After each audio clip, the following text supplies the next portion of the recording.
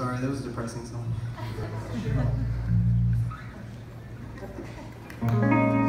Alright, the song is called Iris because it brings more hope, so.